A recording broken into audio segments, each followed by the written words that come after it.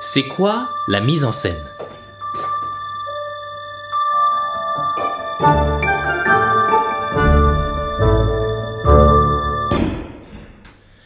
C'est contrôler le regard du spectateur. T'es bien dans les 12 règles d'or de l'animation. Check mon intro.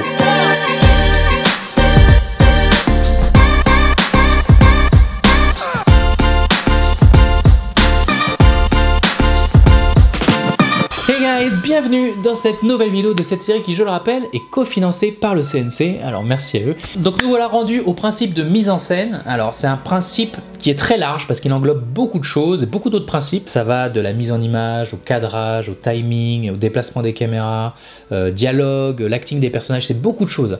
Mais en gros, c'est tout ce qui permet de faire passer au spectateur une information ou une émotion de la façon la plus claire possible.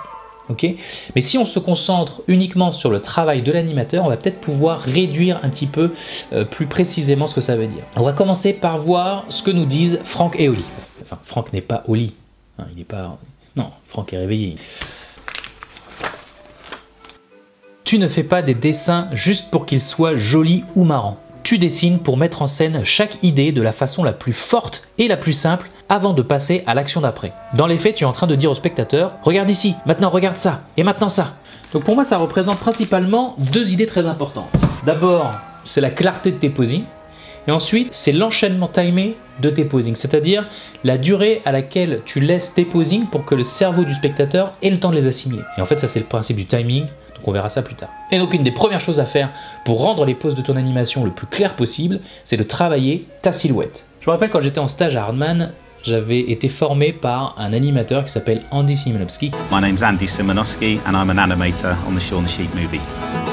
Il m'avait donné une euh, puppet de Voilà c'est Gromit à animer et j'avais un acting à faire. C'était un personnage qui était assis à un arrêt de bus et qui voyait quelqu'un au loin. En fait, il attendait quelqu'un, il le voyait, il se levait pour faire coucou et puis en fait, ah non, c'était pas la bonne personne. Du coup, il se ravise et il va s'asseoir. J'avais mon petit studio là pour animer, tranquille, tout seul. Le truc qu'il m'avait dit, c'était, à chaque fois que je viens te voir, je veux comprendre ce qui se passe, je veux comprendre ce que fait ton personnage et je veux comprendre quelle est son émotion. Si c'est pas le cas, tu recommences du début. Grosse pression, mais c'était euh, sa façon de m'apprendre ce principe du staging, de, la clarté de ce qu'on doit animer. Si on revient à la 2D et qu'on regarde ce plan de Peter Pan qui a été animé par Frank Thomas justement, on voit comment tout est travaillé en silhouette. Peter Pan. I could only find his hideout, I'd trap him in his. Where is it? Et au-delà du cadrage qui permet de voir très clairement la performance, tout dans l'attitude, les bras, les mains sont dégagés de la silhouette pour bien les voir. Peter Pan. I could only find his hideout, I'd trap him in his lair. But where is it? D'ailleurs, je sais pas si vous avez remarqué, mais la mise en scène de Peter Pan travaille au corps cette idée de silhouette, parce que tous les personnages du film sont présentés par leur silhouette c'est euh, Jean et Michel quand ils jouent dans la chambre au début, c'est Wendy, c'est bien sûr Peter Pan sur le toit, puis au début du film c'est aussi Monsieur et Mrs Darling, sauf que eux, bah, ils sont coupés en deux, parce que ce sont des adultes. Parce que la silhouette, en fait, c'est le symbole de l'enfance. En fait, c'est l'ombre de notre enfance perdue. Et c'est pour ça d'ailleurs que, Peter Pan est si affolé d'avoir perdu son ombre et qu'il veut absolument la recoller. Je m'envole un peu loin, donc on revient au capitaine Crochet, parce que ce qui lui fait défaut, lui, c'est d'avoir deux mains. Et c'est dommage parce que les mains, c'est hyper expressif dans les silhouettes. Un personnage de Disney qui parle beaucoup avec les mains, c'est le docteur Doppler de la planète au trésor. Et je vous conseille de regarder toutes les animations qu'a fait euh, l'animateur Sergio Pablos, hein, qui a fondé après euh, SPA Studios en Espagne, parce que toutes ces animes, c'est vraiment une masterclass de la silhouette. Dang it, Jim, I'm an astronomer, not a doctor. I mean, I am a doctor, but I'm not that kind of doctor. I have a doctorate. It's not the same thing. You can't help people with a doctorate. You just sit there and you're useless. Regardez comment les mains sont systématiquement bien dessinées dans la silhouette. On y voit la tension du personnage, son état émotionnel qui panique. L'acting ne repose presque exclusivement sur ça. Ou alors sur ce plan plus calme. Sorry, Delbert. It's been a madhouse here all morning. No problem, Sarah. Ah, my Alponian chowder with the extra Solaris seed. Mmm, yum. Hello. Regardez comment les mains se détachent encore pour marquer l'acting. Comment il décide de dérouler sa serviette sur le côté pour bien qu'on la voie. Et la façon dont il le fait dit quelque chose du personnage. Hello. Ou encore sur ce plan suivant, où tout est encore travaillé en silhouette pour bien mettre en évidence la cuillère, que tout le monde regarde, hein, autant les personnages que le spectateur. Et la pose de fin également, où les mains sont bien ressorties.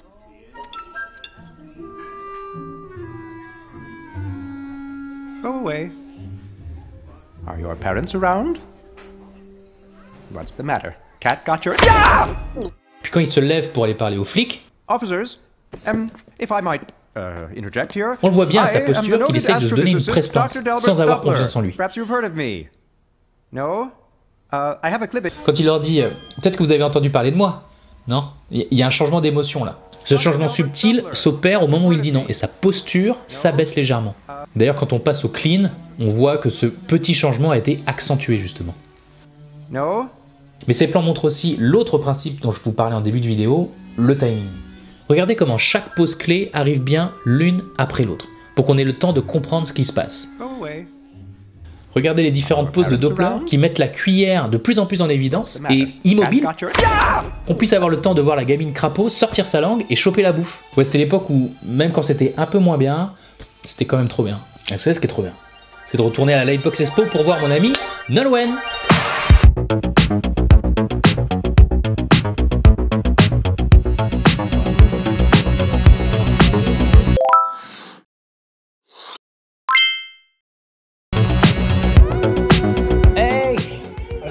va? Ouais. on a trois caméras. Salut Nolwenn. Salut Yo-Yo. Ça va? Ça va et toi? Ça va super. Alors du coup, bah, je t'avais demandé de participer pour les 12 règles d'animation, alors que tu n'es pas animatrice. Mais il y a une règle qui s'appelle staging en anglais. On traduit en mise en scène en français, qui te correspond parce que du coup, bah, tu es story artist. En tant qu'animateur, moi, je pense que ça veut dire l'idée de, passer euh, une information de la façon la plus claire possible. Comment toi tu vois la chose? Est-ce que parce que toi tu travailles en amont des animateurs, tu prépares le terrain pour les animateurs. Comment tu te débrouilles pour que l'information que tu dois faire passer, qui est liée à l'histoire que tu racontes, mhm. est la plus claire possible? Quand tu parles de euh, faire passer une information dans le storyboard, l'information que tu veux faire passer, c'est l'émotion, on va dire, de, la scène. C'est ça qui est le plus important. Et du coup, euh, nous, on a des règles de cinématographie, des règles qu'on peut suivre ou ne pas suivre. Mais par exemple, on a des règles du style euh, le, la règle des 180, mhm. genre d'essayer de pas dépasser cette ligne-là, cette ligne imaginaire des 180 degrés et euh, d'essayer toujours de garder par exemple euh, une direction quand tu, fais, euh, quand tu passes d'un plan à un autre. si tu as un personnage qui va de la droite à gauche mhm. et que dans le plan d'après, il continue à marcher mais qui va de gauche à droite, c'est pas très clair. Mhm. Donc on a des règles qui, qui, font, qui sont là pour garder la, nous faire garder la clarté. maintenant, il est possible de briser cette règle si tu as besoin que ton audience soit perdue. Ah, si tu as envie de perdre ton spectateur, eh ben, tu peux utiliser euh, cette règle-là euh, et faire l'inverse mhm. pour dire ah il va à gauche, ensuite il va. S'il est dans un labyrinthe par exemple, tu peux essayer de faire ça. Ça va perdre un peu ton spectateur et donc tu vas t'en servir pour faire passer l'information que tu veux euh, faire passer. Mais alors du coup, ce que tu dis, c'est que l'émotion prime avant l'information factuelle ou de ce qui se passe. Ah oui, parce que enfin. Je dis oui, mais grosso modo, l'idée de faire du storyboard, c'est de faire un brouillon du film pour pour voir si l'émotion est là, pour voir si mm. ça passe. Mm. Ensuite, quand tu parles de, par exemple, euh, factuel, donc euh, l'acting ou le posing, par exemple, euh, d'un personnage, c'est important aussi, mais pas autant, je dirais, que est-ce que la scène en elle, le tout, fais passer ce que tu veux faire passer. Mhm. Par exemple, on a des, on a des storyboarders euh, dans certaines équipes, ils sont pas très forts en dessin, ils sont pas très forts en anime, ils sont pas très forts en, en posing, euh, mais c'est pas grave du moment que as le, tu comprends la scène et que l'émotion est là. Ouais. ouais. This is all because you lost your wife, isn't it? Okay, Porcupine. We're not talking about my Ruby. Look, I know she inspired so many of your songs. All of my songs. Right. And I don't like honey in my tea. Tu as l'impression que tu as des automatismes par rapport à ça? Oui. Euh, ouais. J'essaie d'en sortir un peu, mais euh, oui, oui, oui, parce que, euh, bon, par exemple, euh, les automatismes, c'est euh, quand tu as une scène de dialogue, tu vas faire des over the shoulder on a dit c'est amorce. En amorce. en amorce en français. Euh, et quand tu fait. Ah, je suis en euh, amorce. T'es en avance. Euh, donc, euh, par exemple, dans, une- dans un dialogue, on va retrouver beaucoup de euh, over the shoulder Ouais. sur toi, sur moi, enfin, de faire des, des échanges comme ça. Et donc, ça, ça peut devenir un automatisme. Et donc, après, une fois qu'on a fait ça, c'est bien de se dire, bon, qu'est-ce que je peux faire pour rendre ça intéressant Mhm. et d'essayer de casser ce truc-là et de, euh, de se dire, bon, par exemple, euh, là, la scène, elle est un peu, euh, elle est un peu ennuyante. Donc, euh, qu'est-ce que ça fait si je fais un, un plan, euh, quand je fais un, un profil euh, des deux, par exemple Oui. Tu mets les deux dans le champ. Ou alors, euh, qu'est-ce que ça fait si je fais un single sur toi plutôt qu'un Mhm. over the shoulder Mhm. Pour essayer de dynamiser un peu la scène. Ou même peut-être un downshot ou upshot et d'essayer de rendre ça intéressant tout en gardant à l'esprit que ça sert à rien de faire un downshot si ça n'a pas de sens de le faire dans cette scène-là, par exemple. tu vois ce que je veux dire. Hum, donc il y a des petits automatismes comme ça. Euh, après, quand tu dis automatisme, ça peut être aussi dans le dessin. Après, ça dépend des storyboarders, mais euh, moi, je suis très souvent catégorisée euh, comme euh, scène émotion Ouais. parce que euh, j'adore travailler. En fait, je voulais être animatrice à la base, Euh, mais bon, le, la Ouais. vie a fait que.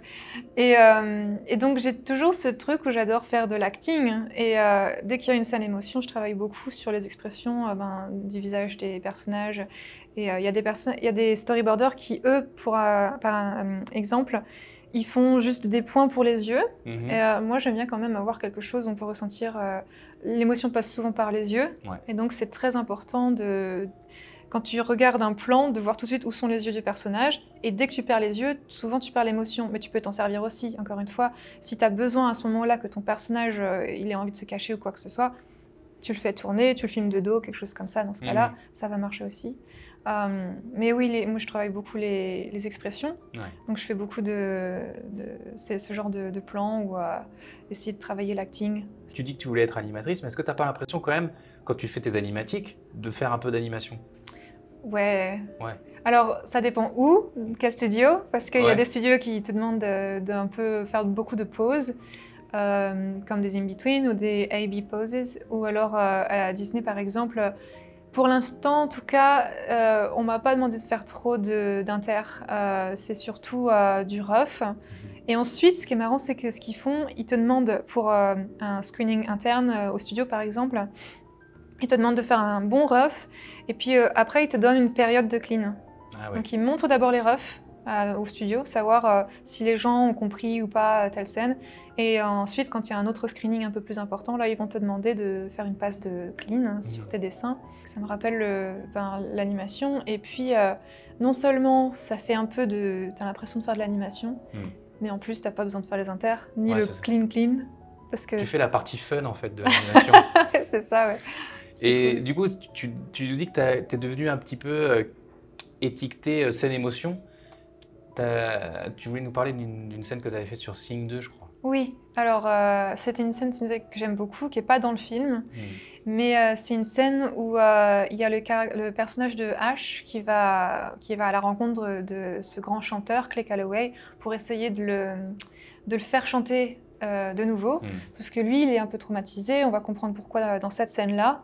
Et c'est une scène que j'aime beaucoup, j'ai bossé dessus avec Zébé. Euh, Tous les deux, on a, on a bossé sur euh, le, les thumbnails, le rough et le, et le clean. Et c'est une scène où Ash va comprendre pourquoi Clay, Clay n'est pas sur scène, n'est plus sur scène. Et, euh, et c'est une scène trop chouette parce que Zébé avait eu cette super idée de. euh, C'était pas dans le script à la base, Mhm. mais donc, euh, elle est dans la maison et euh, elle va aller voir Clé, mais elle s'arrête parce qu'elle voit sur le mur des images de lui et de sa femme. Mhm.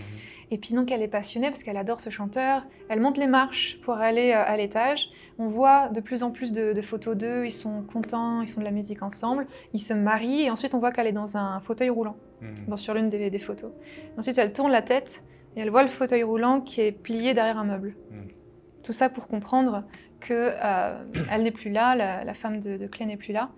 Et euh, juste ce moment de ça monte, ça monte. Alors non seulement le personnage monte dans les escaliers, mais en plus l'émotion monte parce qu'elle voit des images Mhm. de, de son héros, et, euh, parce qu'elle est chanteuse aussi. Et elle voit petit à petit que ça s'est pas passé si bien que ça avec la santé de la femme de Clay. Pour juste au moment où elle tourne la tête, on filme on cut sur, Mhm. euh, le, sur ce, ce fauteuil qui est plié. Dans le film, euh, je me souviens qu'ils ont vraiment raccourci ça. Je, la scène commence sur un, un dézoom sur des photos, Mhm. donc on n'a pas cette montée. Et ensuite, euh, on suit Clay, et dans un coin d'une armoire dans le noir, il y a le siège. Donc on ne le voit pas très très bien, mais ils avaient besoin dans le film de raccourcir en général. Ça se passe comme ça. On Mhm. fait un, Ouais, ouais. un film qui dure deux heures et demie, puis après, il faut raccourcir. Euh, mais oui, cette scène-là, on l'avait travaillée euh, de manière à ce que l'émotion monte en même temps que le personnage monte Dans les escaliers. et dans les escaliers. Et là, elle s'arrête Ouais. et elle tourne la tête. Et c'est l'arrêt de non seulement euh, elle qui monte, mais aussi l'émotion. À ce moment-là, elle est au maximum. Et quoi. puis du coup, il y a une vraie identification du spectateur parce que en fait, ce que comprend H, c'est ce que comprend le spectateur euh, simultanément en fait au personnage. Alors, parce qu'on voit ce qu'elle voit et on comprend ce que... et c'est plus fort que si il l'avait raconté en fait. Oui, absolument. Donc c'est un, bon, c'est de l'art visuel, mais c'est trop intéressant d'essayer de, de- d'utiliser la cinématographie pour euh, faire ressentir au spectateur ce que le personnage du film ressent. Voilà. Et donc ça, c'est... euh, bon, moi, je continue d'apprendre, mais plus j'apprends ça et plus je, je- j'ai l'impression de- d'arriver à, à ce moment-là, plus c'est satisfaisant parce Mhm. que euh, tout ce qu'on veut, c'est que le spectateur ait euh, une expérience, en fait. Euh, et, et qu'il soit pas passif, Mhm. comme devant certains films, où la caméra... souvent dans les séries, c'est ça. Et c'est pour ça que... À l'inverse, donc quand la caméra bouge pas trop, mais que tu veux faire une scène marrante, genre un gag ou un truc comme ça, c'est très bien parce que c'est souvent drôle justement quand tu as une caméra qui, qui bouge pas et que tu as juste un gag devant toi, alors que si tu vas avancer ou faire des gros plans, c'est beaucoup plus dramatique, donc Mhm. le gag peut avoir moins d'impact par exemple Ouais. euh, à ce moment-là.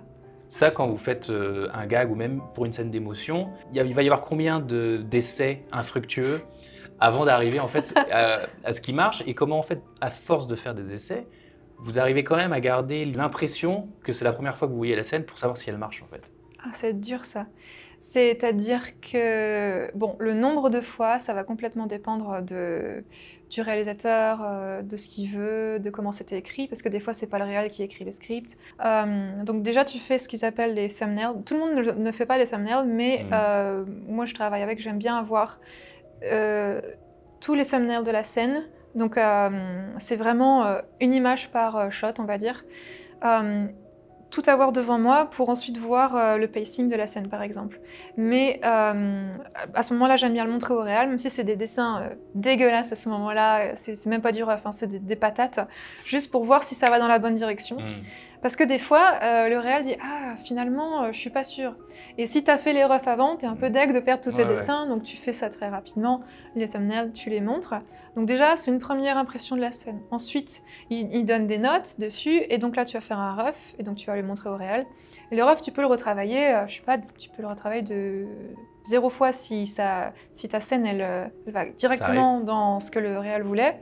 Mais parfois, soit il change d'avis, soit c'est pas exact, t'avais pas compris la même chose parce qu'on a tous une, euh, une sensibilité différente. Et euh, c'est pour ça que c'est intéressant de caster euh, les bons storyboarders sur les bonnes scènes. Donc voilà, à ce moment-là, ça va être un nou- une nouvelle passe qu'on va faire, peut-être en rough une ou deux. Euh, la dernière fois, donc j'ai fait trois passes de rough. Et, euh, et ensuite, on l'a envoyé, ensuite une passe de clean, et puis ensuite, ta scène peut très bien revenir Mhm. l'année d'après, parce que le film a changé. Ouais, ouais. Donc ça peut aller jusqu'à l'infini. Euh, Je me souviens que sur Mignon, on avait fait. euh, je me souviens d'une scène où que j'avais fait 12 fois, un truc comme ça. C'était, pff, on avait passé des semaines sur certaines scènes. Je crois qu'on avait fait le- l'entièreté du film au moins trois fois. Ouais. Et ensuite, on avait euh, fait le bon film. Mais c'est. Tu sais jamais en vrai. Et euh, du coup, pour toi, euh, ça serait quoi le, conseil que tu pourrais donner euh, quand on dessine c'est pour l'animation, mais finalement, tu vois, c'est pour le board, c'est pour un dessin général. C'est comment, c'est quoi l'ingrédient en fait qui fait qu'on va pouvoir communiquer clairement une information? Je pense que. Bah, tu as dit la silhouette, c'est. La silhouette, c'est très important et que au bout d'un moment, je, je pense que j'y pense même plus, mais un petit tips que je pourrais donner, que je fais régulièrement, parce que moi j'aime bien travailler, donc tu as ton, ton dessin sur Photoshop, je mets toujours le petit euh, carré en haut à droite, le comment ça s'appelle euh, L'aperçu. Ouais. ouais, ouais, Oui, pour- tu vois, pour quand tu veux zoomer, tu as ce petit truc-là. Et en général, euh, je fais mon dessin, puis après je regarde vite fait en petit. Et si c'est clair, Si mon dessin, si je vois qu'il y a un personnage ou si je vois bien les yeux ou quoi que ce soit, je me dis c'est bon. Si c'est pas clair, euh, s'il y a deux personnages et qu'à un moment donné il y en a un derrière l'autre et que je comprends rien, je vais revenir sur mon dessin pour essayer de, refaire ça. Mais mes yeux, ils font toujours un aller-retour entre ce petit endroit-là pour voir si en petit déjà on comprend. Comme si c'était un euh, thumbnail en fait. C'est comme un thumbnail, c'est ouais, exactement. Je crois qu'on est bon. Hein. Ouais. Merci. C'est super. super, ok. Ouais, c'est ça. Mm.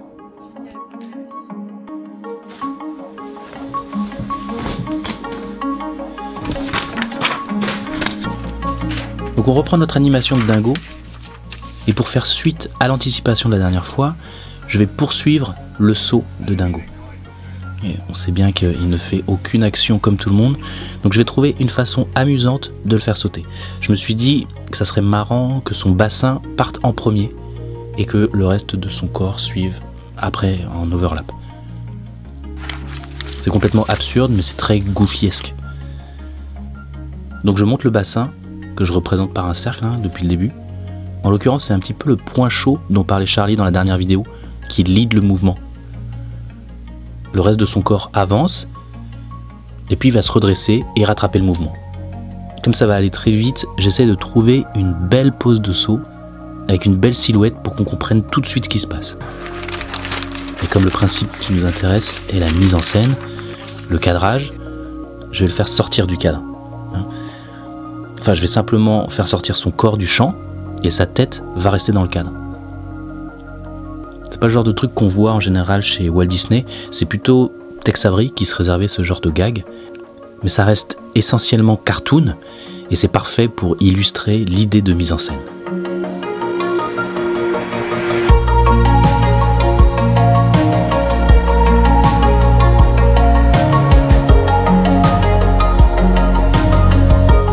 Voilà, dites-moi en commentaire si ça vous plaît, likez, partagez la vidéo. Et puis n'oubliez pas de vous inscrire à la liste en description pour tout savoir sur mon prochain cours d'animation. On se donne rendez-vous dans la prochaine vidéo pour le prochain principe. Ciao